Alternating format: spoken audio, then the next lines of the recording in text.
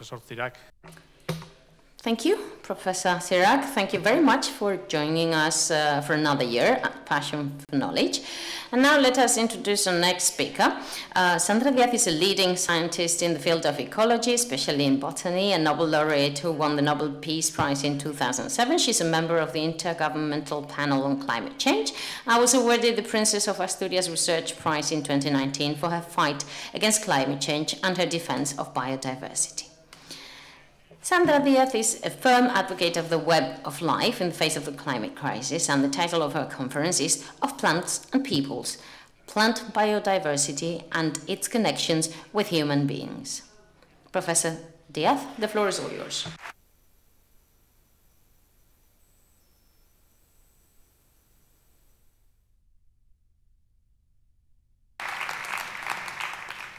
Muy buenas tardes. Good afternoon to you all. Thank you very much for being here. Um, first of all, I want to thank the entire organization team, and uh, particularly teacher, Professors Pedro Miguel Echenique and Ricardo Díez um, for inviting me and for giving me the opportunity to experience the legendary Basque hospitality and for giving me, of course, the chance to be here at Passion for Knowledge. I can say uh, now, firsthand, that this legend is fully justified, of course. Y me gustaría comenzar And I would like to start with um, uh, this presentation with some non rhetorical questions to the audience. First of all, I'd like to ask you how many species of plants did you encounter today? Lo más probable Well, it is likely that the vast majority of you encountered a minimum of 10 species. But uh, the majority of people don't even notice it.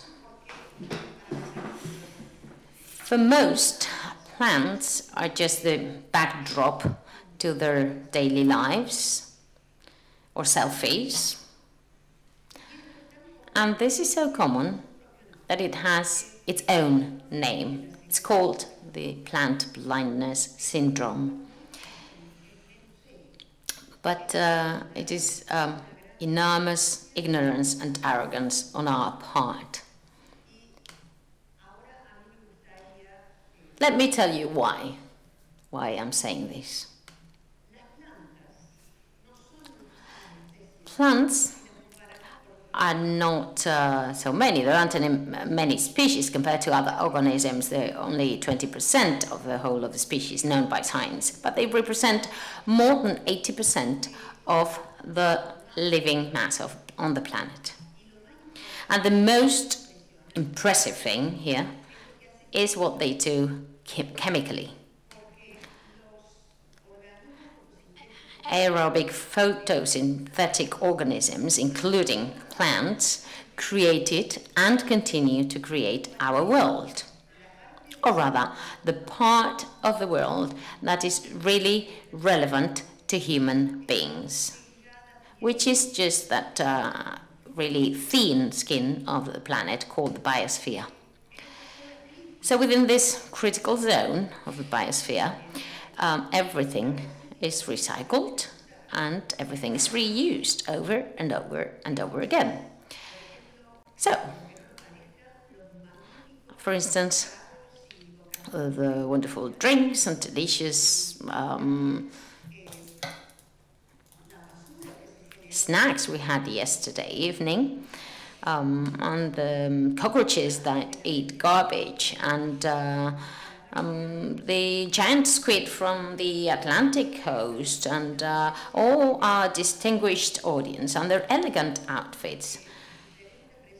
We are simply different recipes combining more or less the same ingredients. I, myself, for instance, am nothing more than a temporarily uh, assembly, a temporary assembly of borrowed molecules. And this has been going on for billions of years. For billions of years, molecules have been circulating between the living world and the inert world. Beings eat each other, And when they die, they decompose and transform back into inert matter and so on and so forth. But there is a crucial detail here. The vast majority of organisms do not have the capacity to generate life from inanimate molecules. Only a few groups, including plants, can do something wonderful, which is a process, a wonderful process that is aerobic photosynthesis. And this process consists of, quite simply of capturing three really very abundant um, elements,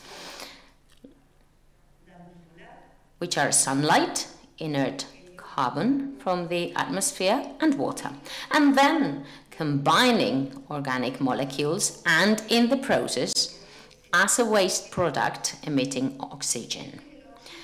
So this is the oxygen that animals use uh, because animals need oxygen and they also eat plants and in turn exhale the carbon dioxide that by chance sustains photosynthesis. It is the raw material for plants.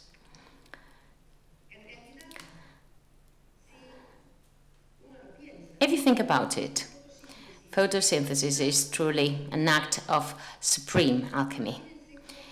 Imagine how we would celebrate it if we had invented it.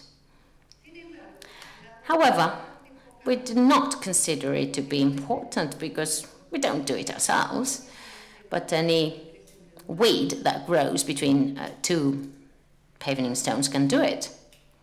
So, the air we breathe is a biological construction, ultimately a product of uh, photosynthesis.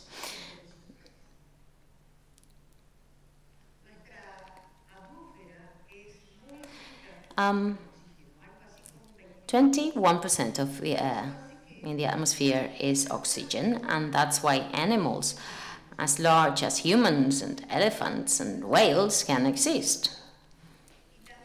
And that's also why everything catches fire so easily on this planet of ours.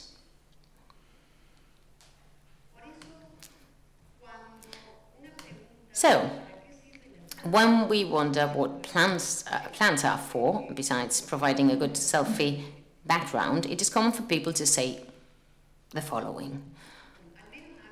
Well, at least to me, most of the people tell me that they provide the oxygen we need to live. That's the answer I get. I don't know if you agree with that. Well, I'm sorry to disappoint, but in reality, much of the oxygen in the atmosphere that we enjoy today is not the work of the plants that surround us today. Land plants emerged about 400 from sorry about 470 to 420 million years ago. And the the great oxidation period the period in which the amount of oxygen in the atmosphere increased dramatically occurred much earlier about 2.4 billion years ago. So before uh, plants emerged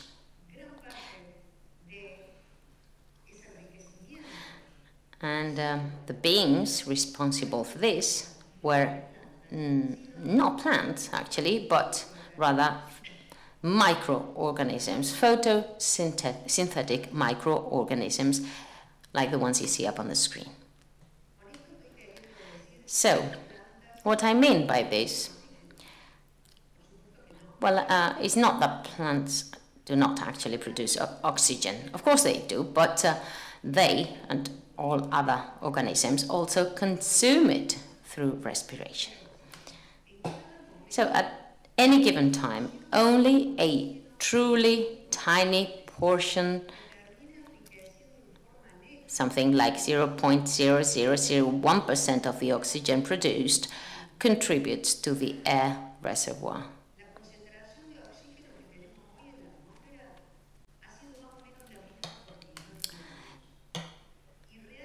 The proportion of oxygen in the air has been more or less the same for millions of years. It, hasn't been affected by human activity. And the oxygen concentration that we now have uh, is enough for millions of years. So we don't have to worry about running out of oxygen.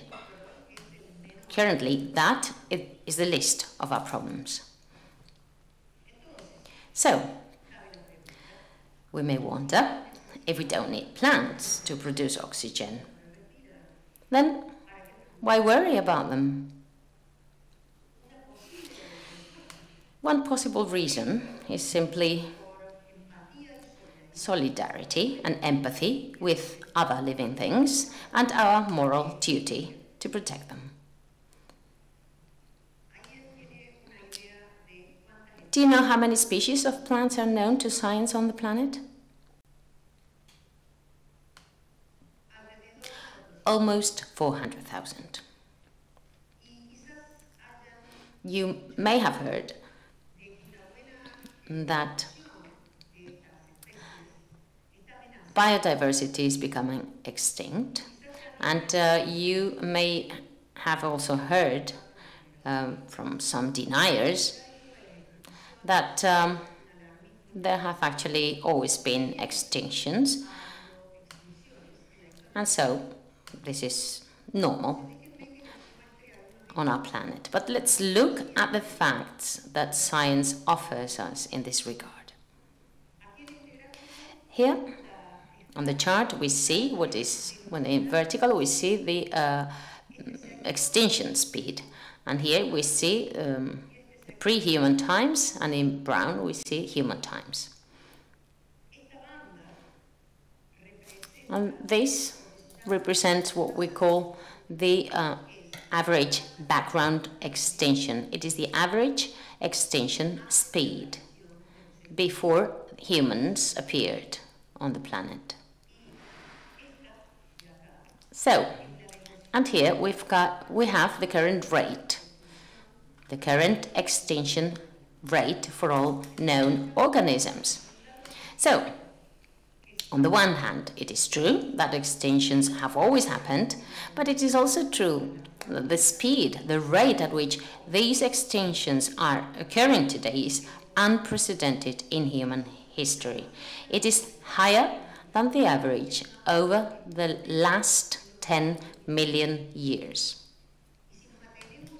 And uh, if we look specifically for, for plants, this is the natural extinction rate of plants in pre-human times, and this is the current one. It seems low relative to other organisms, but it is, it is about 500 times higher than the rate without human intervention. It's estimated that almost 40% of all known species of plants are threatened, currently, to some extent. And among these, there are just over 5,000 species that are in what we call critical danger of extinction, which basically means that they have a 50% likelihood of disappearing forever over the next 10 years. And there are some that are, already officially extinct in the wild and only exist today uh, in cultivated form, thanks to the care uh, given to them and, and the fact that they're in botanical gardens. Perhaps the most pathetic case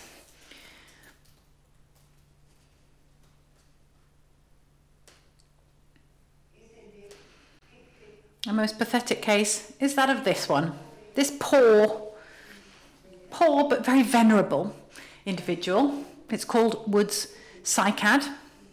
It is the only individual uh, which is currently there. It's been find, found in the wild. They're main, male and female ones, and this is a male one. And uh, it's now been living for over 100 years in a little pot, well, a rather large pot, in fact, in Kew Gardens. They, there are uh, other species of the same, other uh, individuals of the same species, but because they've been cloned, they're all men, they're all blokes, which is a bit sad.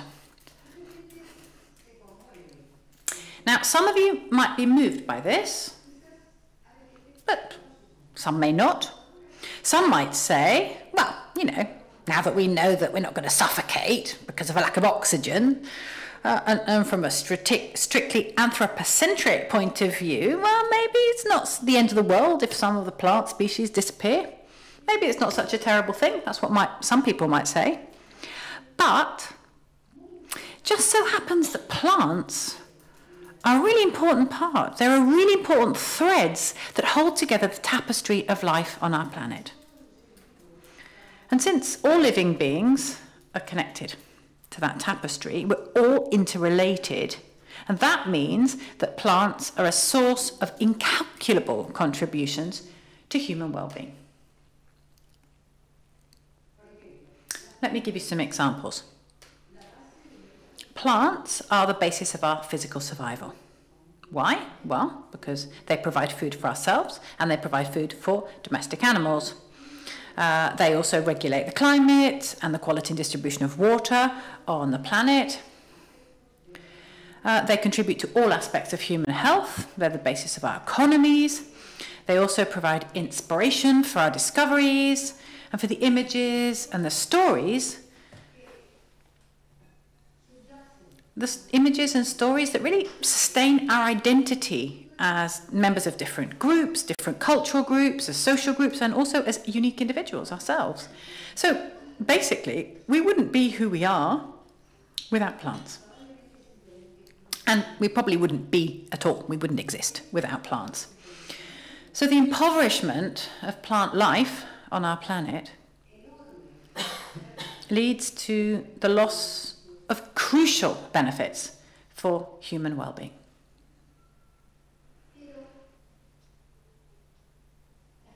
But plants aren't just essential for the physical and psychological life of individual people, ourselves as individuals. Right from the dawn of humankind, our social relationships with other humans and, and most human interactions within and between different societies have been mediated by something or other connected to plants.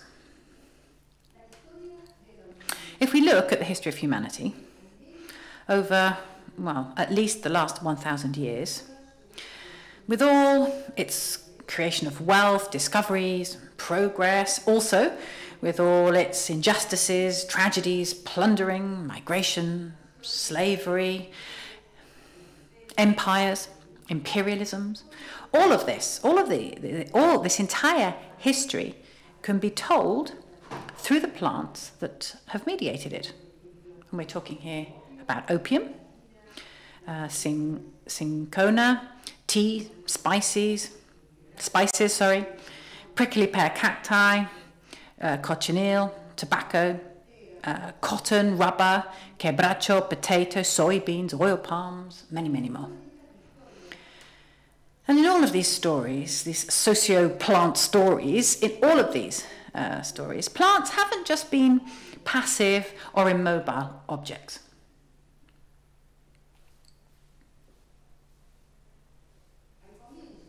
Right at the beginning of my talk, I mentioned the legendary Basque hospitality. And there's another legendary issue about this region that I would also like to mention now. A close friend, wonderful colleague, once told me, well, you know, thanks to the courage, the ingenuity, and the persistence of the Basques, no invaders, no enemies were ever able to get a foothold in the Basque country. Yeah, and up until recently, I had uh, no reason to doubt what this person said to me until just a short while ago. I was on a trip. I was visiting different areas of this region.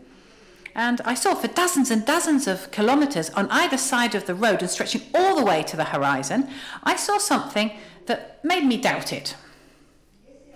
And what was that? Cortaderia selloana, pampas duster, which is native to my land. Apparently, at least, the Pampas duster has managed to get a good foothold in the Basque Country. And apparently, at least, it doesn't show any signs of being defeated in the near future.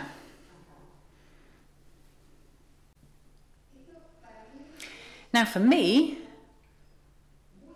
this is like, like a fairly eloquent example that far from being just inanimate objects that, we, that can be manipulated at will, and far from being simply a backdrop to human social drama, many plants have made use of this kind of intertwining with our social life to reach the most distant and unsuspected places, to adapt to those places and basically take over them, take them over.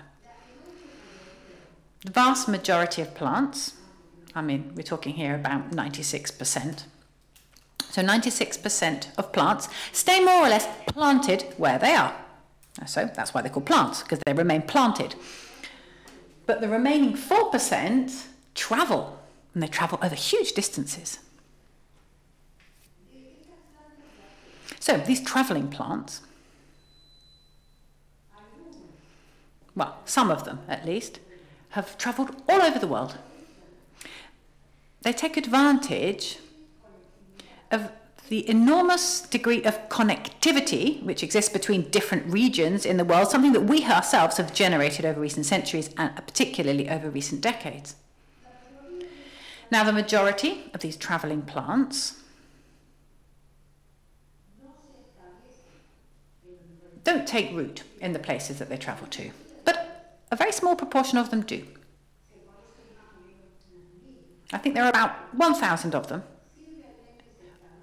in the planet. They do. They take root in their new homes. They start to spread, to reproduce, and they become invasive. They become invasive species, and they uh, cause a lot of damage. We're talking about 0.3% of all the plants on the planet. It's a very, very small proportion, but these few plants really do create huge headaches for people. Uh, one example is the one that we've seen before. And I'm going to throw you, show you three examples uh, who rank very high on the world ranking of expansion and documented damage. Here we can see three of them up on the screen. So, how and why do plants travel around the world? Well, sometimes, often, we transport them ourselves without meaning to. Uh, they're like stowaways, if you like. They're contaminants of crop seeds, or they're mixed uh, in the soil uh, of other plants, or they come in the packaging of different uh, objects and merchandise. But often, all too often, they travel because someone has bought them or transported them very deliberately and with a lot of care because they think they have an advantage or something and they don't take into account that they may be harmful to other uh, plants. For example, in the, the case of the pampas duster, it was introduced into Europe very deliberately as an ornamental plant. And in fact, you can still buy uh, pampas dusters in many garden centres today. Now, uh, the fact that uh, you have a problem with an invasive species from my region makes me feel a bit bad. So I try to find a sort of a counterexample to compensate that. So I'm going to now tell you about a plant that isn't from Europe, but it is from the old world, but it's invaded my region. And it's done it for very curious reasons, much more so than the Pampas duster. We're talking about privet. Privet uh, is this tree that you can see. Uh, they're not messy because they don't shed their leaves, and they've got a kind of a small. They're quite small and very disciplined shape, uh, and they don't you know, make life diff- they don't make life difficult for uh, the people have to prune them. They don't interfere with the electricity cables that run overhead. They don't have roots that break the paving slabs, etc., etc. Which is why they became the perfect candidate uh, for public spaces, public gardens. And also, uh, the maintenance services were delighted uh, because they provide a lot of uh, shade and they don't actually have to sweep up underneath them because they don't shed their leaves.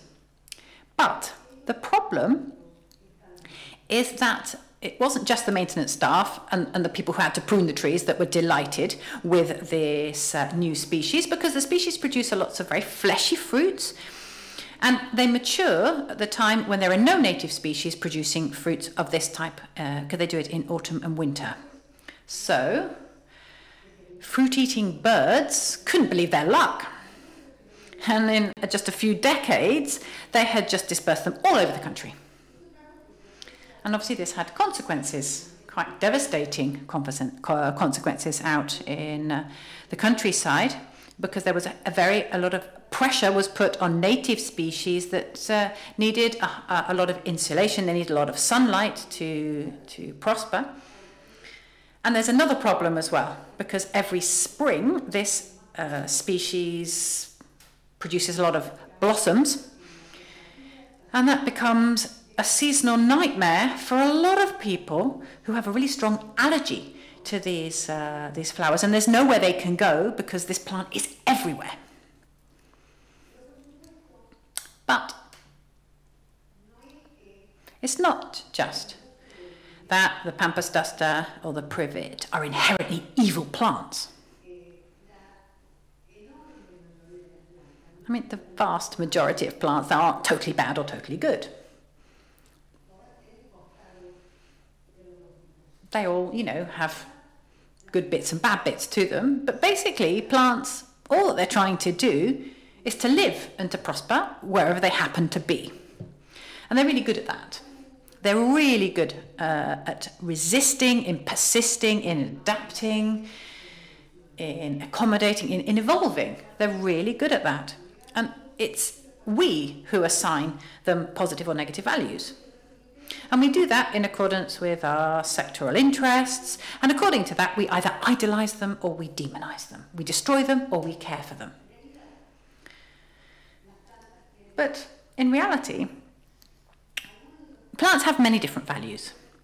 Now, some of these values can be measured very precisely, for example, in monetary terms.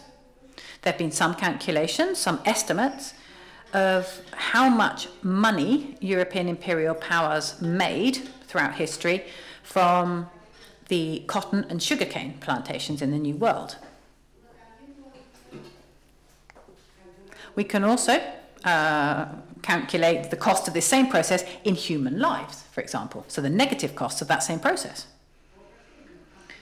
Another example would be that actually recently a report was published quantifying the total damage caused by invasive non-native plants and animals worldwide and they concluded that it was about 400 billion dollars environmentalists myself included we can calculate fairly accurately how much carbon is captured and kept out of the atmosphere. And, uh, so the contribution to the fight against the greenhouse effect. Uh, so how much carbon is kept out of the atmosphere by, for example, a hectare of forest land made up of different species of trees. But not all plant values can be measured in monetary terms or in environmental terms or in terms of health even. Because some plants, many plants, have other types of values which are much more subjective and have to do with society, have to do with our own identity sometimes. For example, you could calculate very, very accurately the characteristics of the leaves, the stems, and the seeds of oak trees. We can also, very precisely, estimate uh, their market price, the monetary uh, price or their monetary value of oak trees. But all of this information wouldn't come close to reflecting the value that oaks have in the Basque culture, for example. And furthermore, some plants have what's called a relational type of value. What are they? Well, relational values are values in which what is valued is not the usefulness of the plant for my own purposes, for example, but rather what I, what I value is my relationship with that plant. I could give you a definition, a very academic definition of relational value, but I think this is much better and it sums it up much better. This is a quote from The Little Prince. And it has to do with the relationship between a human and a plant, a relationship that is irreplaceable.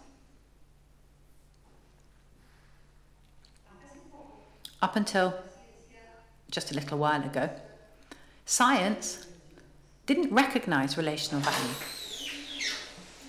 But today, science does value relational value because it's understood, we've understood that this type of value is absolutely fundamental.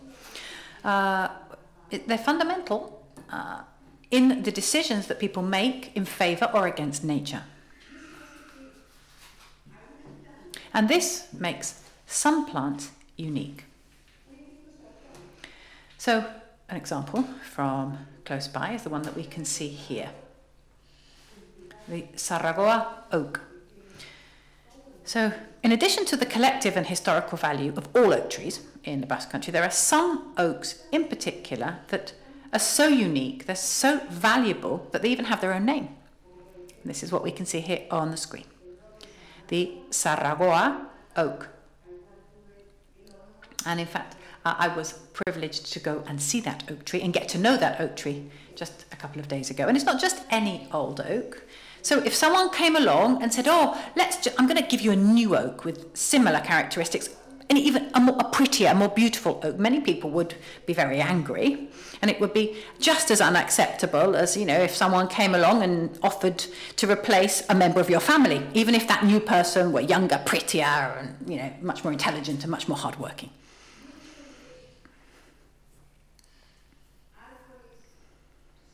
Now, this whole idea of unique trees isn't something that just happens uh, with oaks, and it doesn't just happen in the Basque Country. It happens all over the world. There are many baobabs in Africa that are unique. There's a lot of ceibas which are unique in Latin America. Cypresses uh, in the Middle East often are, are unique. This is the very highly revered cypress of Abarku in Iran, which, according to legend, was planted by Zoroaster. So, plants have a multitude of values. Some of these values can't be condensed in a single, into a single property, but they can't be measured, but doesn't mean they're less important. And it's really important to take all of these different types of values into account. So, to round up, just to conclude, plants are a fundamental part of the living tapestry that covers our entire planet. It's quite easy to imagine a biosphere without humans. It's much more difficult to imagine humans, or even the biosphere itself, without plants. Which is why our origin and our destiny are inextricably interwoven with plants, interwoven evolutionarily, ecologically, and socially. So basically, we don't have a future worth living without plants.